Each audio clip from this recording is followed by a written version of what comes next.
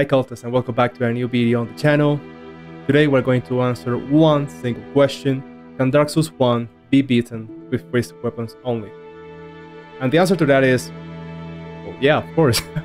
There's been people that has beaten this game with all sorts of builds and weapons and challenges.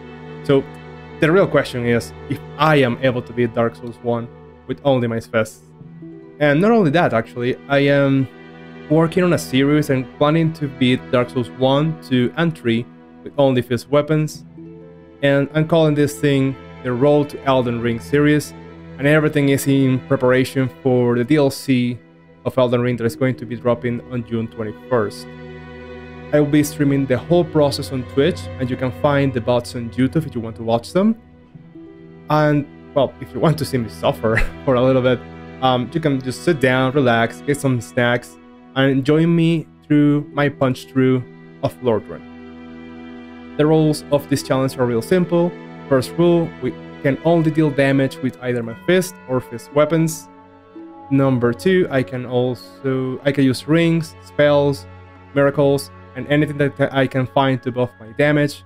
For example, resistance, power within, these magic weapons, Sunlight Blade, anything like that.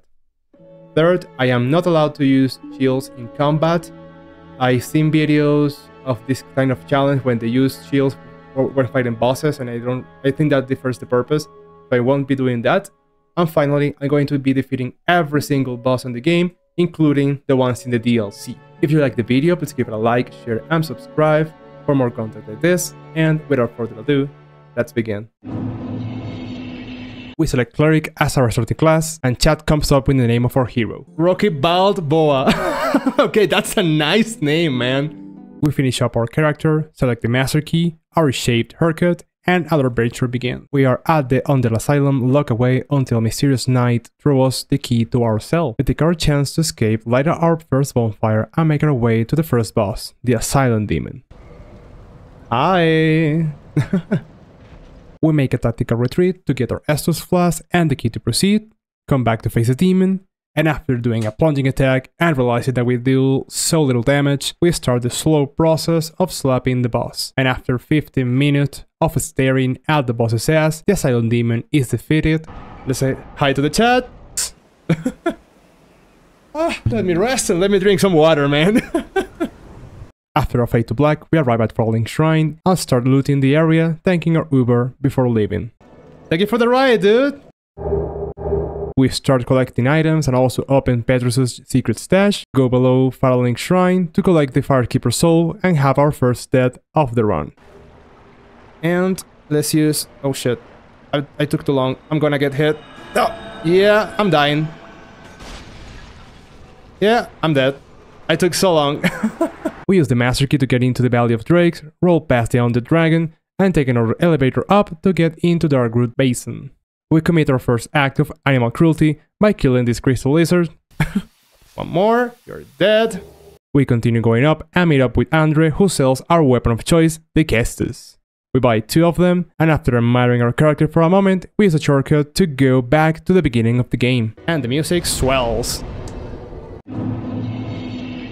With our Caestus in hands, we begin the run properly by punching every single enemy we find while we make our way to the next boss. Nope, not this dragon, this is just a set piece. Kill another innocent creature and proceed to fight the Taurus demon. For this fight, we buff with gold pine resin and take advantage of the tower to do another plunging attack. And after a couple of hits, we defeat the second boss of the game by learning a new strategy. Whenever you have a problem in your life, punch him in the balls and it's gonna disappear. After the Taurus demon, we have another run-in with the Hellkite Drake, but we quickly slip past him to arrive at a new area. We commit more animal abuse by facing a giant boar, and finally we return to Andre to upgrade our weapons. We now move to face the Bell Gargoyles, and this happened. Hello! However, okay, let's Oh, fuck off! well, we didn't die to the boss, we died to gravity. But fuck that. I will not take that this boss... I'm not gonna count as this boss killing me because that didn't happen. Yep, I died twice to the gargoyles. That wasn't a good start, however, at the third try I was able to defeat them by being more careful. Alright! And proceeded to ring the first Bell of Awakening. Some cutscene with our fellow Rocky Baldboa triumphantly standing at the top of the world. The celebration was short-lived, however, as we still needed to ring one more bell. Feeling a little reckless, we decided to go fight the Moonlight Butterfly, and she proceeded to kick our asses for the next 30 minutes. Wailing on this thing. Oh shit, oh shit, no, no, no, no, no! Ah, crap. Oh. Fuck. Oh. Ah, fuck you. No, we're dead. It was clear we weren't going to win without upgrading our damage, so we decided to leave it for a moment and went back to Firelink Shrine to pay a visit to Lautrec. Goodbye, asshole. After that funny moment, we loot his ring and make our way forward. We can skip them if we do this. And this reminds me of the funniest meme of Bloodborne.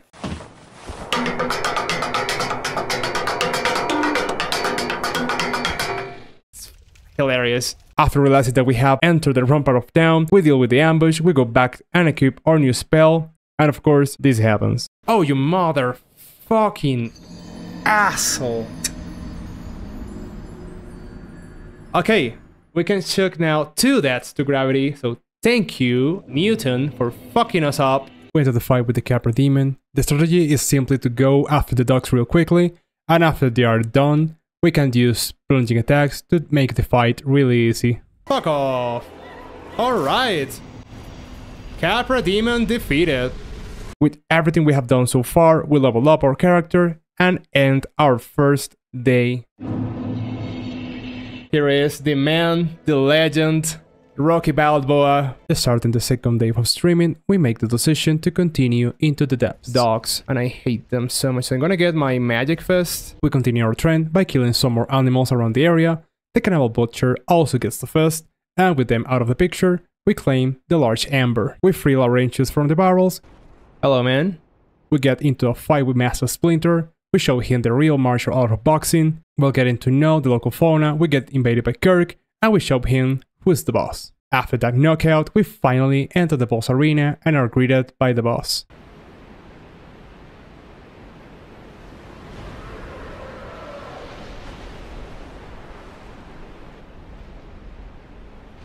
The strategy for this battle is really simple, we just wait for the dragon to slam down and start hitting it in his tiny head. However, we need to be careful as our range tends to make us miss. After doing this for a while, the boss is defeated and we go deeper into a new area. So Rocky Balboa is going into bow to the chat.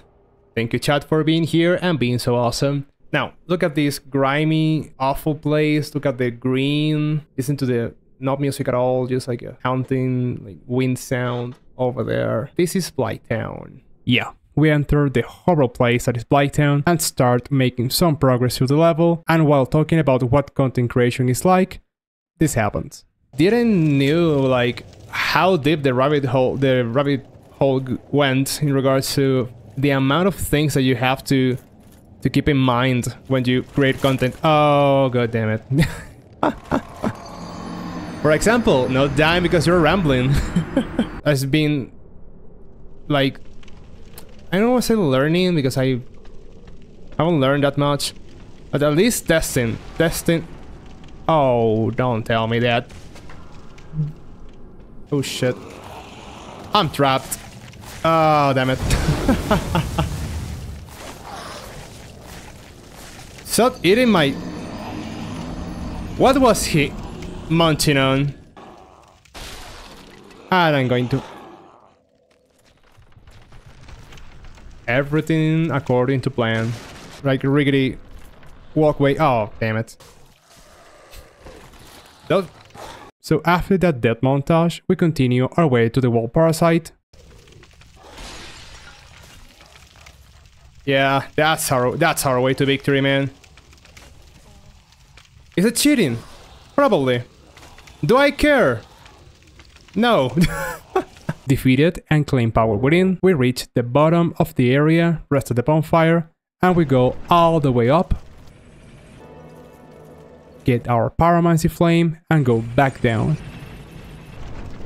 After a trip back to the swamp, we pay a visit to the next boss. Let's get Power Within. Let's get Magic Weapon. And let's get in. Let's get inside. For Quelaag, the strategy is to buff with magic weapons, stay at her sides, and avoid her AoE. We take the opportunity to reapply our buff, and after some punches, we defeat her. It's done!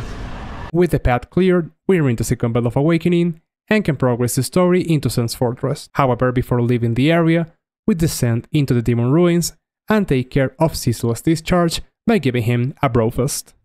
And ah, we kill him. Just like that. And he falls down to his death. We decide to end the day there and say bye to the chat. We start day 3 by making our way to the Undead Parish with our sights set on completing Sen's Fortress. However, this was easier said than done. Good damage. Okay. I didn't know that these guys were Olympic jumpers. What the fuck was that? After dealing with the guards, we enter the fun part of this area and we take the time to answer a tough question from the chat. Now, this is why I call this the fun house. There is like a ton, and when I say a ton, is a ton of traps. Ooh, let me read that question real quick. Hi Nat, what would you say to all those modders who think that playing is a waste of time? Uh, I see what they're coming from because I know that like I know that on on their age and time and all that, like times change. Like playing is just like for fun and to like not stress out that much and like, it's not an activity that you will consider being like... It's not an activity that you will consider productive. However, I could say, at least for me, like gaming has opened a lot of doors for me. Like first of all, I am now streaming and making content out of video games, so that's something. For example, if your if your kids enjoy games, for example, what happened to me was I enjoy games so much, but I we were like really, really dumb with my mother and I, and I didn't purchase games on on English on Spanish, so I had to play on English, and I didn't understand that shit about anything. So that motivated me to learn English, and that's why I'm talking to you in English right now. and of course, having learned English for video games also helped me to get jobs that require me to up to speak in English on, on my country and other countries. So like it opened a door for me like to actually get a high paying job. so I won't consider that a waste of time. now, thank you for coming to my tech talk. let's continue beating this silly game. We continue to avoid more of the traps in the zone, beat up our first mimic, showing that our boxing is better than their kicks, and make our way to the top of the fortress.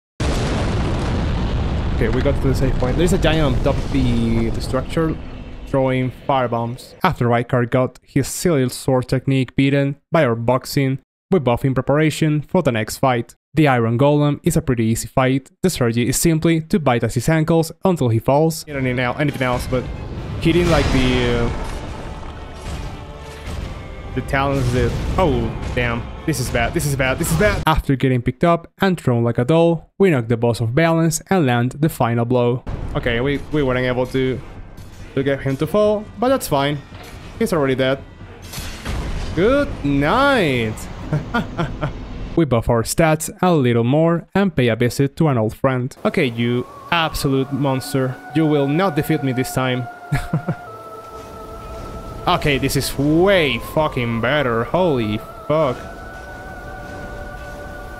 I remember when this was a difficult fight for me. but not anymore. Come here, you oversized insect. Now, I I love how the, the face looks flaming with this. It looks so cool. One, two, and three. Fuck yeah! Got it! Moonlight Butterfly down feels so good to have revenge of that thing. I hated it so much on the first week. Now that we had our revenge, we upgrade our weapons, making awful boxing jokes. This will be my divine hook. After messing up our assassination attempt on Shiva. Ah, come on, I fucked it up. We manage to kill the shadow and get the flip ring. And we cannot miss the chance to mess with the creatures of the area. I'm gonna show you how, how hard they hit. Come on, dude. Hit me. Look at that shit, man. It is pretty much insane. I hope one day we're going to punch as hard as these dudes. And you're down. We also attack some spinning cats. What about the worshipping animal thing? Hey, hey, I am not the one hurting the animals. It's this game, dude. It's I don't know what's happening, but this game really wants me to hurt real animals. Oh man, now that I think about it, this boss is not gonna help my case. Man, that sucks. Look at this. God damn it. Again.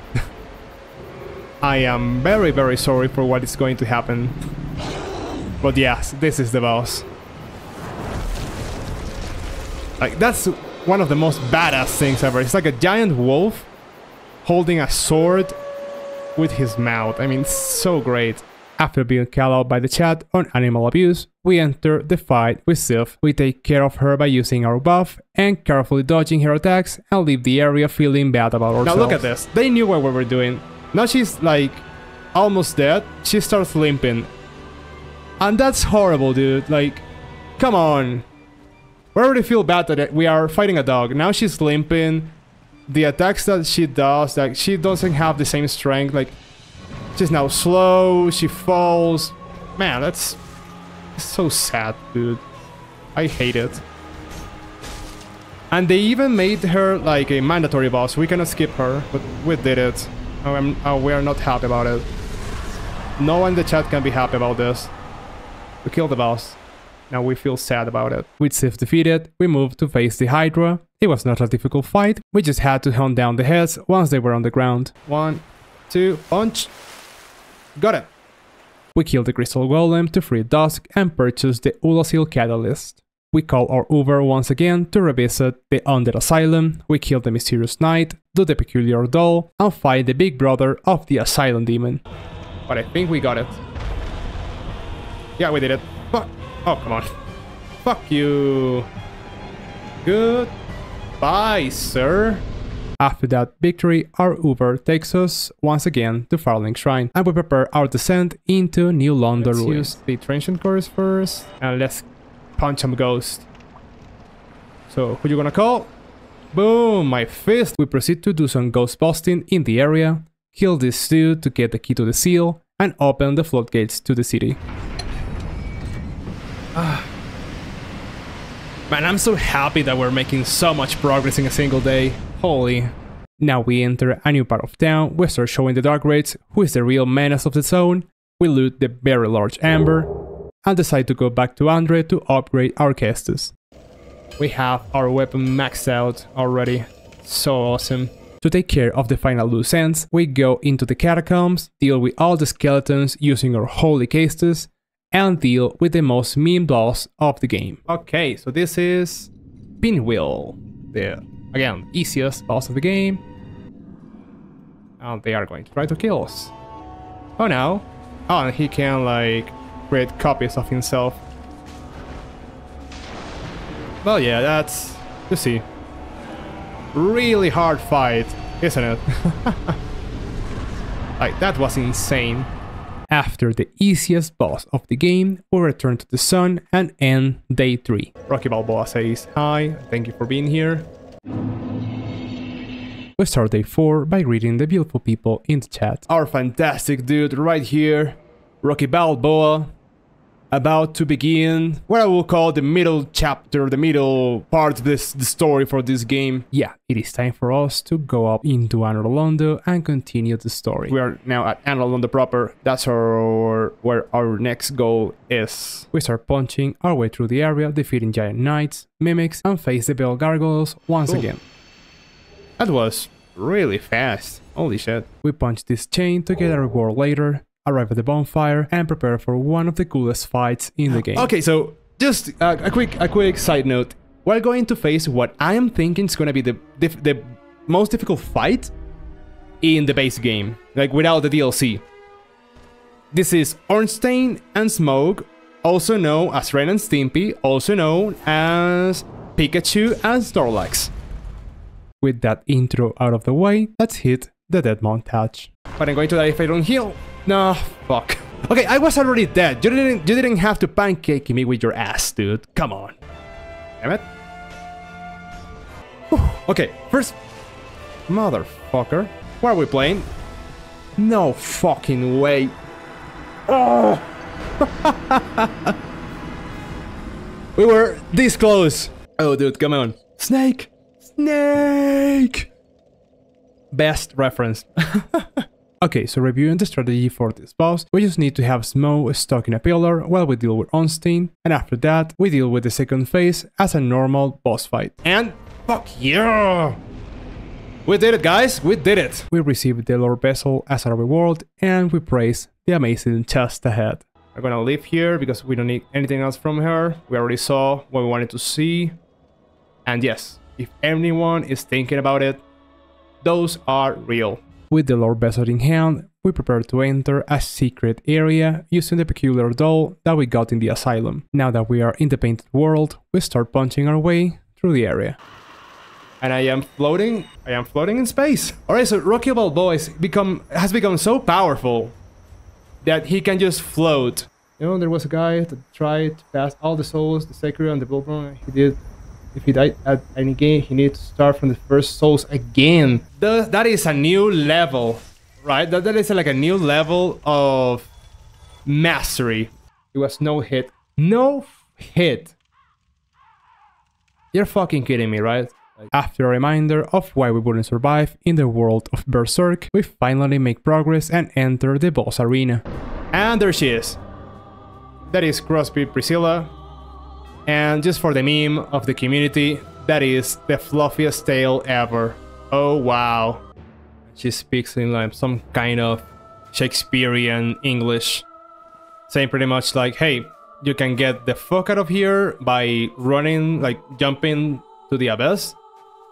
Or if you want her, because some people want to kill her, um, she's gonna kick your ass. we of course are gonna get our asses kicked by her. Let's go. Let's get, hit the tail for that matter. Alright, so people with feet fetishes are going to enjoy this boss because the only thing that we can see about her are her feet. Alright, done. We defeated Priscilla. Now, let's take the plunge and escape the painting.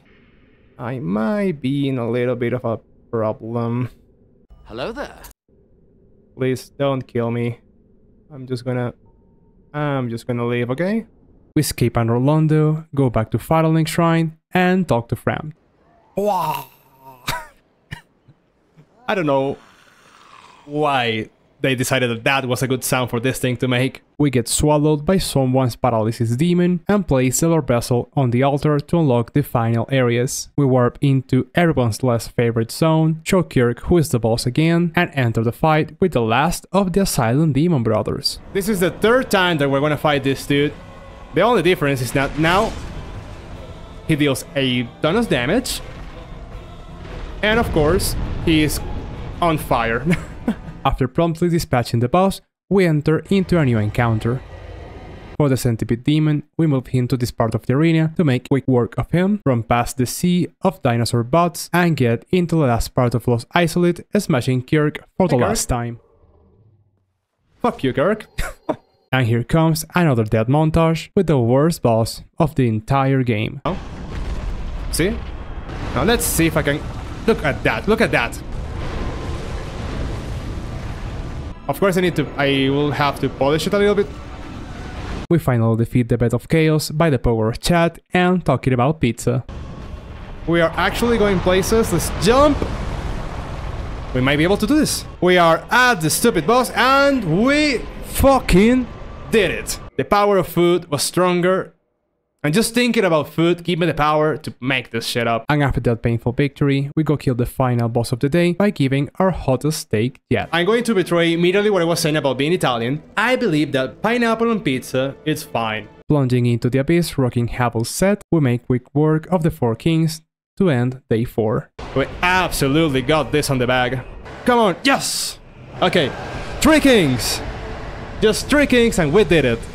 We start day 5 by having a change in drip, and after farming the crow ladies for hours, we now have a new miracle. We aggravate the charges of animal abuse by killing more boars and wearing them as trophies. We get the key to the DLC and face the Crystal Knight. Oh, he can parry me! Fuck!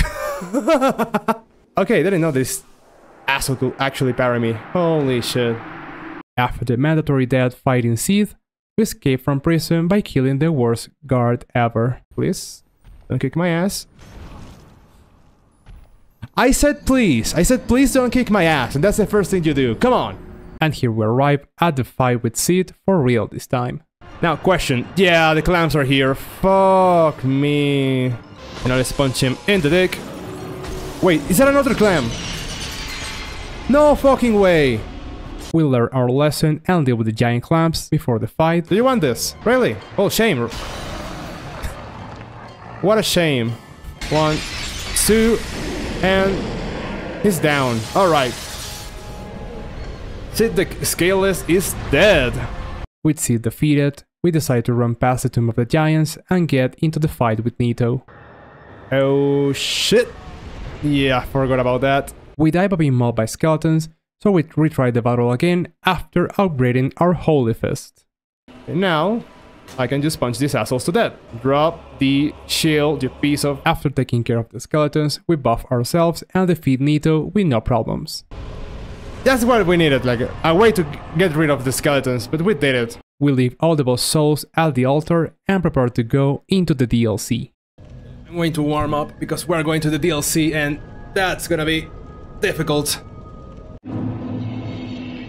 We use the broken pendant that we got at the archives and we are grabbed and pulled into the past. Like right out of the bat, here in the in the DLC we have a boss fight. Right away. Look at how fast the enemies now react to you. You see? What a bullshit move! Come on! Okay, fuck you. we start exploring the Royal Woods and an old friend appears. Yeah, the gauntlets. I mean, it's fine. I don't like the, the being dirty. Oh, fuck off. That's Willy Wonka. Uh, okay, look at the, the, the, the mask, right? Look at the, the creepy smile. That is a Willy Wonka that I don't want to have, like, near me for any amount of time. So if this guy gets to you and offers chocolate, don't take it. That wasn't chocolate, dude? Oh, ow, uh... I knew, I knew that I couldn't, I couldn't trust that guy. So you know what? Let's kill him. Willy Wonka, why did you do this to me? No mercy for ya. After killing Chester for giving us funky candy, we enter the fight with Artorias. And don't tell me that isn't a good intro. Shit. Okay, that's... No, I fucked up. I really fucked up. Damn. Two hours later. Not gonna happen, dude. It's not gonna happen. Forget about it. I need your faith now, okay? I've proven myself that I can beat Artorias with fist only. So that at least merits a follow. After that massive win against the last boss, we delve deeper into the abyss and come face to face with Manus for another death montage. Oh, that's a combo. That's it. No, that's a massive hit. Oh, for fuck's sake. Come on. Ah, damn.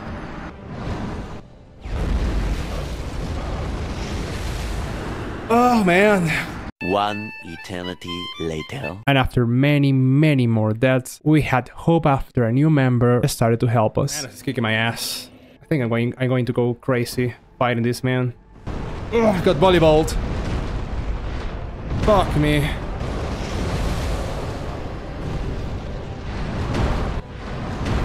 We did it. We did it, guys. We did it. Whew. Oh, damn, bro. Oh, praise the sun, praise fucking everything. Man, we fucking did it. Rocky Balboa, once again, the hero of this fucking thing. I, I actually feel like a, a mixture of 10 times lighter and 10 years o- like older at the same time. To be honest, after we defeat Manus, everything that was ahead seems like a cakewalk, so we enlist Gough to help us kill Kalameet in my favorite cutscene in the game. Good. What is bravery without a dash of recklessness? Now, what Epic as fuck, man. I'm gonna drop the controller, I just want to enjoy that cutscene, man. Oh man, look at that.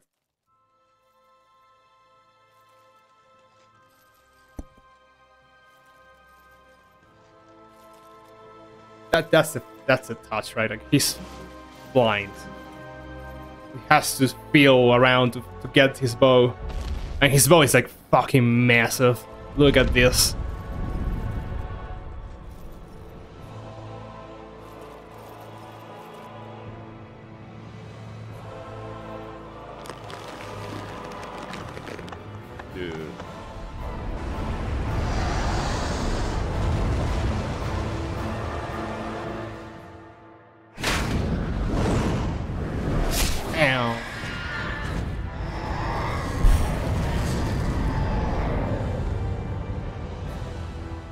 I smell every single time that I see that. God damn.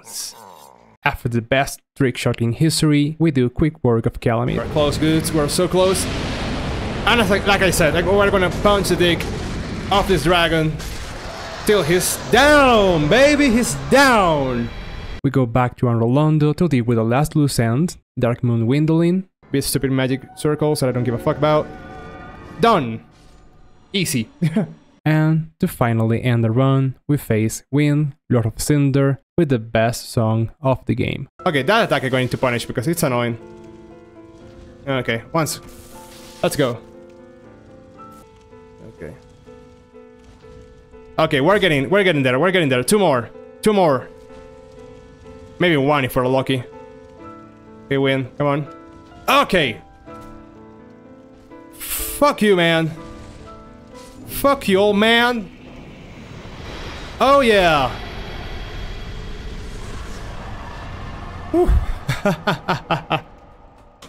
Fuck yeah, dudes. Look at that. Dark Souls 1. Defeated with fist only. W game, W streamer, GL, and Dark Souls 2. Thank you, Dazzle. Thank you so very much for being here. The other guys here, Sen, Kuro, Nat, thank you so much for being here. And now we're gonna link the fire. Man, what an experience! we're gonna link the fire to make sure that the story continues in Dark Souls 2. Ah, man. Love Dark Souls, man. I love Dark Souls so much. I'll definitely be watching and giving tips on DS2. Thank you, man. Thank you so very much. I'll I'll need them. Um, this has been an experience. This has been amazing. This is my first series on, on a stream, man. this will be the end of me for today. I am very tired. My brain is completely melted, and we have been here for six hours. So, but we did it. We did it. We we, we fucking did it, man. so once again, um, before leaving, I want to make sure to tell you that you are the most awesome people in the world. I want to thank you so much for being here. Thank you so much for being so incredibly awesome. And I'll see every single one of you in the next one. bye bye.